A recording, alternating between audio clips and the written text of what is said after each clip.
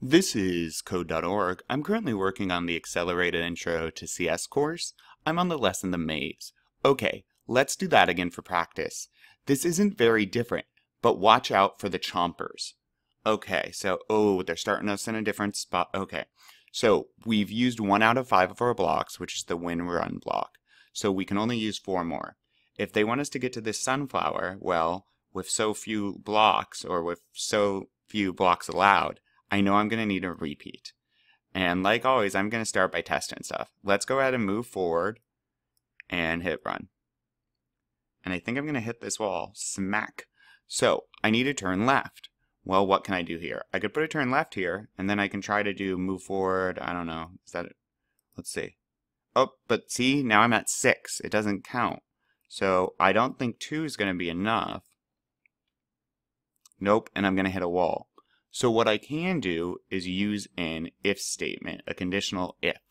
And what this allows us to do, ooh, and I wouldn't want to turn left, I want to turn right. Uh, but what this allows us to do is each time I step forward, I'm going to be checking if I can turn right. So when I hit run, the first thing that happens is I'm the computer says, okay, zombie, go until you get to the flower. And I say, okay.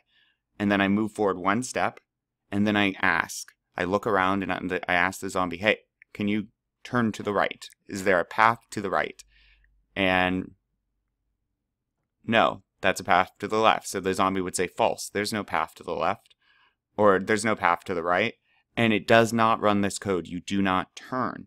So then you hit the bottom of this, you go back up, and the computer says, Oh, are you at the flower yet? Nope, not. Okay, well then do this code again. Move forward again. And I take another step.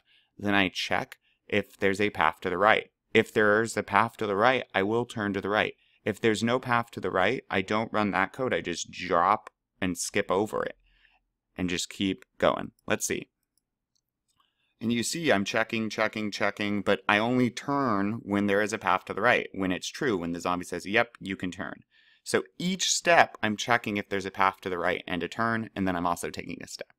And it stops when we get the flower which is why we uh, have success. Let's keep going.